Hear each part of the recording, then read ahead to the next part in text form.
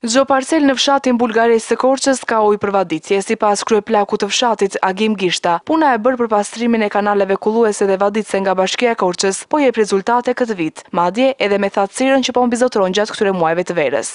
Me të pastruar kanalet kullues dhe bërja, e kanaleve vaditës që u veshën me çimendo, u kanë shërbyer shumë fshatarët, janë shumë të kënaqur dhe mendojnë që të marrin rendiment të mirë. Ka ndihmuar jashtëzakonisht për katundin Bulgarec, pothuajse është zgjidhur problemi në të gjitha parcelat.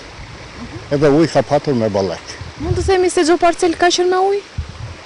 Çdo parcelë, po, merr furnizim me ujë. Fermerët shprehen se puna e tyre nuk do t'ikë dëm pasi më në fund kanë ujë për të vaditur të mbjellat në tokat e tyre bujqësore. Të dy kanalet dhe kulluesi dhe vaditësi ndihmojnë. Janë bërë mirë me fjalë. E kishit problematik më përpara?